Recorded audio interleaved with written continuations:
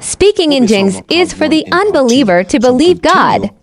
Tongues is a sign to the unbeliever, not for the brilliant to show off. And there come in one that believe not, or one unlearned, he is convinced of all, he is judge of all.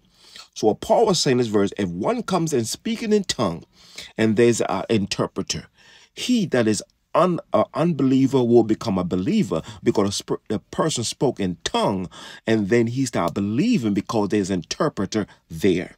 Hey, glory to God. Verse 25. And thus are the secret of his heart made manifest, and so falling down on his knees, he will worship God and report that God is in you of truth. So what Paul was saying, a person that's speaking in tongue, and a person is speaking his language. Verse 25 say, And thus are the secret of his heart are manifest, and so fall down on his face, he will worship God and report that God is you of truth. Now continue. How is it then, brethren, when you come together in church, everyone or we assembly of you have a psalms, have a doctrine, have a tongue, and have a revelation, and have an interpretation, let all things be done unto edify. So what Paul say, don't speak in tongue to be shown off but speak in tongue because these are revelation and interpretation. Let all things be done how to edify.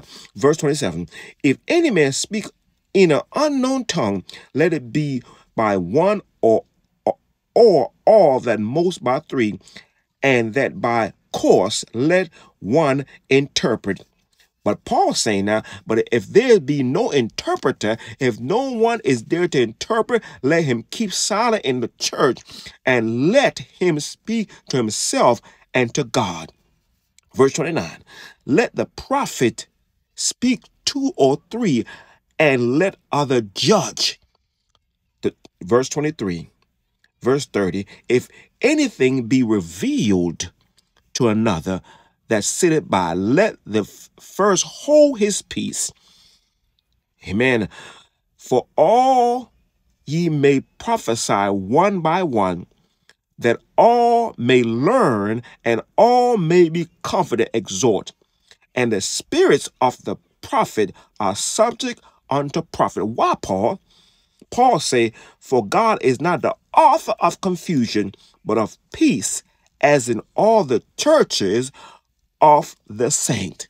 So I'm telling people, my friend, speaking his tongue, speaking his tongue is of God and not of Satan. But men have twisted to make you feel bad.